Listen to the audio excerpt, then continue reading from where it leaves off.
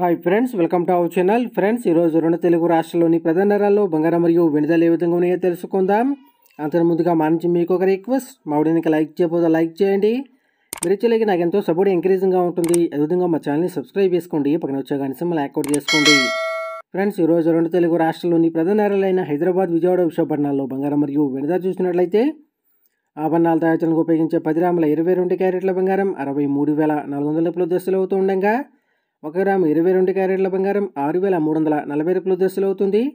అలాగే స్వచ్ఛమైన పది గ్రాముల ఇరవై నాలుగు క్యారెట్ల బంగారం అరవై తొమ్మిది వేల నూట అరవై రూపాయల దశలు అవుతూ ఉండగా ఒక గ్రాము ఇరవై నాలుగు క్యారెట్ల బంగారం ఆరు వేల తొమ్మిది వందల పదహారు రూపాయల దశలు అవుతుంది.